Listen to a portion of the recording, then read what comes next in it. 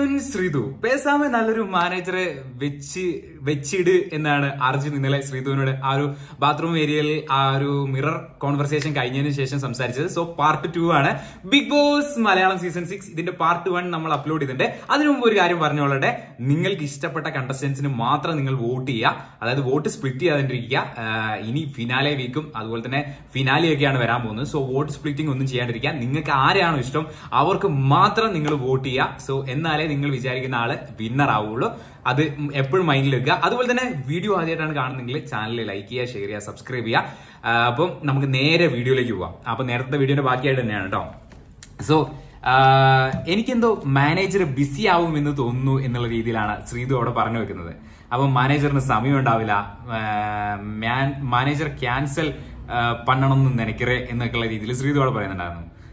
സമയമില്ലെങ്കിൽ പിന്നെ എങ്ങനെയാണ് മാനേജർ ആക്കുക എന്നുള്ള രീതിയിലൊക്കെ പറയുന്നുണ്ടായിരുന്നു. പിന്നെ ഞാൻ മാനേജറിനെ വിളിച്ച് ഡേറ്റ് ഉണ്ടോ ഡേറ്റ് ഉണ്ടോ എന്ന് ചോദിക്കേണ്ട വരും എന്നൊക്കെയുള്ള രീതിയിൽ ശ്രീതു അവിടെ പറഞ്ഞു വെക്കുന്നുണ്ടായിരുന്നു.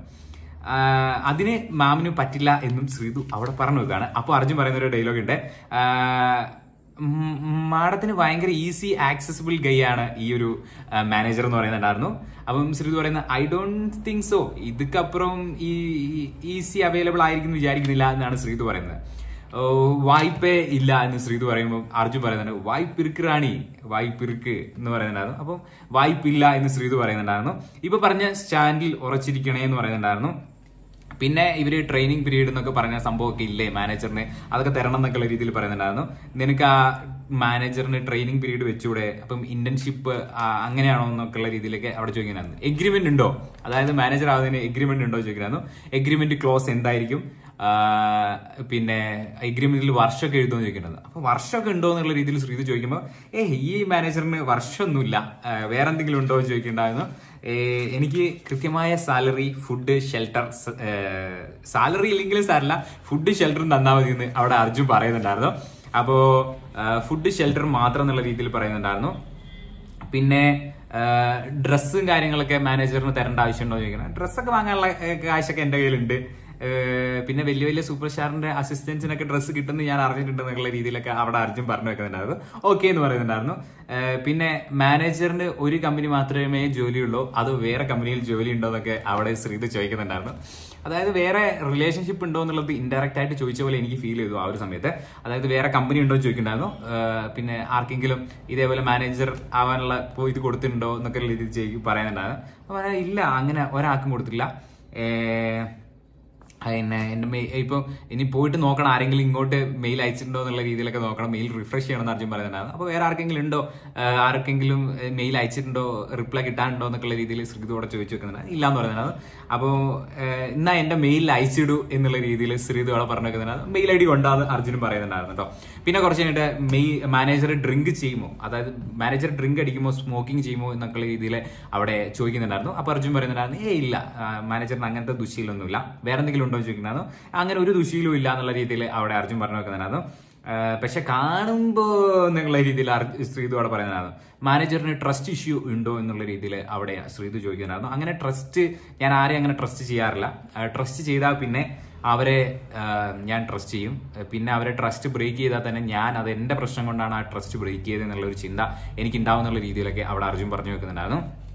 ഓക്കെ പിന്നെ ശ്രീതി ചോദിക്കാനായിരുന്നു മാനേജർ ഡയറക്ടർ ഡയറക്റ്റ് പേഴ്സർ ആളാണോ എന്ന് ചോദിക്കണമായിരുന്നു ഇല്ല ഓപ്പൺ അപ്പ് ചെയ്യാൻ ഭയങ്കര പാടാണ്. പക്ഷെ ഇൻഡയറക്റ്റ് ആയിട്ട് നിറയെ പറയും അല്ലേ എന്നുള്ള രീതിയിൽ ശ്രീതി അവിടെ പറഞ്ഞു വെക്കുന്നുണ്ടായിരുന്നു ഇല്ല ഞാൻ അങ്ങനെ ഓപ്പൺ അപ്പ് ചെയ്തിട്ടില്ല. പക്ഷേ ആഗ്രഹിച്ചിട്ടുണ്ട്. ഓപ്പൺ ആയിട്ട് ഇങ്ങനെ പറയണമെന്ന് ആഗ്രഹിച്ചിട്ടുണ്ട്. ഓപ്പൺ അപ്പ് ചെയ്താൽ കിട്ടുന്ന റിപ്ലൈ എന്താണെന്ന് എനിക്കറിയില്ല. സോ അങ്ങനെ. അതും ഇല്ല എത്രത്തോളം എന്നെ മനസ്സിലാക്കാൻ പറ്റും? ഇപ്പൊ എന്റെ വേദന എന്ന് പറയുന്നത് ഞാൻ മാത്രമേ അനുഭവിച്ചിട്ടുണ്ടാവുള്ളൂ. അത് വേറൊരാൾക്ക് പറഞ്ഞ് മനസ്സിലാക്കി അവരത് അക്സെപ്റ്റ് ചെയ്യണമെന്നില്ല. സോ ഒബിയസ്ലി പിന്നെ അത് അതുകൊണ്ട് തന്നെയാണ് ഇങ്ങനത്തെ കാര്യങ്ങളൊന്നും പറയാത്തതെന്ന് പറയുന്നുണ്ടായിരുന്നു. നമ്മുടെ വിഷമം വേറൊരാൾക്ക് മനസ്സിലാവുമോ എന്ന് അറിയുന്നില്ല. പിന്നെ പിന്നെ എനിക്ക് ഈ കേട്ടിരിക്കാൻ ഈ ഒരു സംഭവം പറയുന്നത് കേട്ടിരിക്കാൻ ഭയങ്കര ഇഷ്ടമാണ്. ഞാൻ കുറേ പറഞ്ഞു കൊടുക്കും. പക്ഷേ എന്റെ പ്രശ്നം ഞാൻ ആരോടും പറയാറില്ല എന്നൊക്കെ പറയുന്നുണ്ടായിരുന്നു. ഓപ്പൺ അപ്പ് ചെയ്ത ശേഷം കണക്ഷൻ വിട്ടുപോകുമോ എന്ന് അറിയില്ല എന്നുള്ളൊരു കാര്യം പറയുന്നുണ്ടായിരുന്നു. കണക്ഷൻ വിട്ടുപോകണമെങ്കിൽ അത് എന്ത് കാര്യം കൊണ്ടും വിട്ടുപോകാമല്ലോ എന്ന് ശ്രീതു അവിടെ സംസാരിക്കുന്നുണ്ട്. ചിലപ്പോൾ അവർ വിചാരിക്കും അങ്ങനത്തെ കാര്യങ്ങളൊക്കെ. ചിലപ്പോൾ അവർ വിചാരിക്കും അവരല്ലാണ്ട് ഒരു തേർഡ് പേഴ്സൺ വഴി ഈ ഒരു സംഭവം അറിഞ്ഞു കഴിഞ്ഞ് കഴിഞ്ഞാൽ എന്തുകൊണ്ട് പറഞ്ഞില്ല എന്നുള്ളൊരു ചിന്തയൊക്കെ ഉണ്ടാവും എന്നുള്ള രീതിയിൽ ശ്രീതു അവിടെ പറഞ്ഞു വെക്കുന്നുണ്ട്. അപ്പോൾ അർജുൻ പറയുന്നുണ്ട് അങ്ങനെ തേർഡ് പേഴ്സൺ വഴിയൊന്നും പറഞ്ഞു വെക്കേണ്ട രീതിയിൽ ഞാൻ ഒരിക്കലും സംസാരിക്കില്ല എന്നൊക്കെ പറയുന്നുണ്ടായിരുന്നു. എന്റെ കാര്യമാണ്. പിന്നെ പിന്നെ അതിന്റെ ഇടയിൽ ക്രിസ്മസ് ഇഷ്ടമാണ് ക്രിസ്മസിന് ഞാൻ കഴിഞ്ഞ ക്രിസ്മസിന് എന്റെ ഫാമിലീനെ കൊണ്ട് എറണാകുളം പോയി എന്റെ സാലറി കൊണ്ട് ഫുഡ് കാര്യങ്ങളൊക്കെ മേടിച്ചു കൊടുത്തു. അങ്ങനത്തെ കുറേ കാര്യങ്ങൾ ഞാൻ ഈ ഫെസ്റ്റിവൽസ് ഒക്കെ ഞങ്ങളെ ഫാമിലി നല്ല രീതിയിൽ ആഘോഷിക്കും. അത് സെലിബ്രേഷൻ ഒക്കെ ചെയ്യും. അതായത് ഇപ്പം തിർക്കാർത്തിക കാർത്തികയ്ക്ക് വിളക്ക് വെക്കും.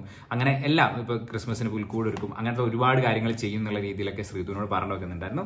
പിന്നെ ഫാമിലി ടൈം ഉണ്ടാവും. ഞാൻ അവരെ ഹാപ്പിയാക്കാൻ അതായത് ഫാമിലിയെ ഹാപ്പിയാക്കാൻ ഞാൻ എന്തും ചെയ്യുന്നുള്ള രീതിയിൽ അവിടെ അർജുൻ പറഞ്ഞു വെക്കുന്നുണ്ടായിരുന്നു. ഈ ഇതാണ് ആ ഒരു കോൺവെർസേഷൻ എന്ന് പറയുന്നത്. ഒരുപാട് നേരം ഉണ്ടായ ഒരു കോൺവെർസേഷൻ ആണ്. സോ ഈ ഒരു കോൺവെർസേഷനിൽ നിന്ന് മനസ്സിലായ ഒരു കാര്യം എന്ന് പറയുന്നത് ഇൻഡയറക്റ്റ് ആയിട്ട് ഇവർ അങ്ങോട്ടും ഇങ്ങോട്ടും മനസ്സിലാക്കാൻ തന്നെയാണ് ഇങ്ങനത്തെ ഒരു കോൺവെർസേഷൻ നടത്തിയത്. പിന്നെ ഈ കോൺവെർസേഷനെ പറ്റി ഇതൊരു ക്രിഞ്ച് കോൺവെർസേഷൻ ആണ്. അതുപോലെ തന്നെ ഇവർ പറയുന്നത് മനസ്സിലാവില്ല എന്നൊക്കെ പറയുന്നത് ലൈവിൽ ഈ ഒരു സെഗ്മെന്റ് എന്ന് പറയുന്നത് അവർ ഇൻഡയറക്റ്റ് ആയിട്ട് അവരെ തന്നെ മനസ്സിലാക്കുന്ന ഒരു സെഗ്മെന്റ് ആണ്. പിന്നെ ചിലർ പറയുന്നത് ഇത് ഫേക്ക് ഡ്രാമ കോംബോ ആണ് എന്നുള്ള രീതിയിലൊക്കെ ഞാൻ കണ്ടിരുന്നു.